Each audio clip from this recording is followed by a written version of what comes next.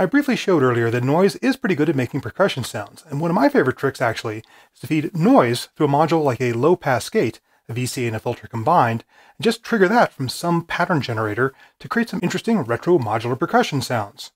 I've changed the patch again, obviously.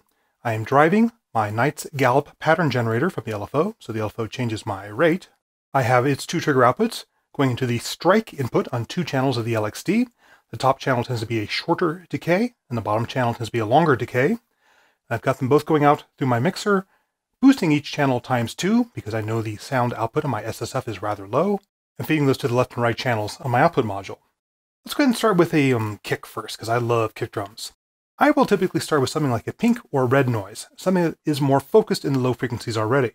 For example, pink noise into my slower decaying low pass gate channel creates this nice sort of um, thunder sheet sound. Speed up the tempo a bit.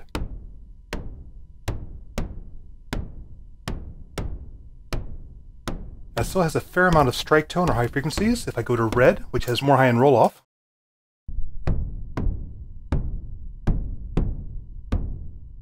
That's a nice low sound. And remember, gray was a mixture of low and high frequencies. That's a nice big kick drum sound with still with a little bit of strike tone.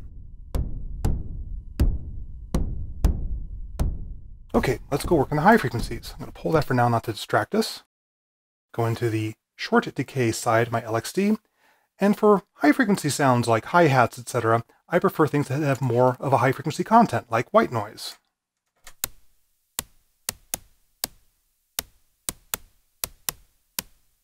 That's a nice, short, sharp snare type sound. If I wanted more body, I could go to pink noise, which has high end roll off.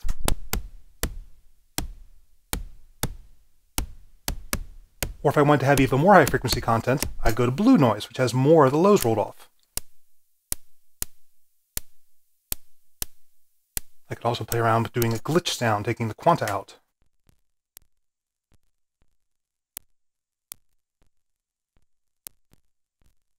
Now, of course, these are just my general tendencies. You can break the rules. You can use a slow decay on a bright sound to create a big snare. And you can use a short decay on something like red to create a very tight kick.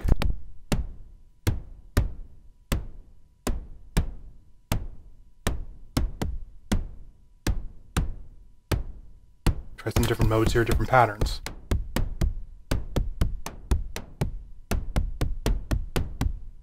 I kind of like a booming kick myself and a tight little high frequency sound for my snare hi-hat.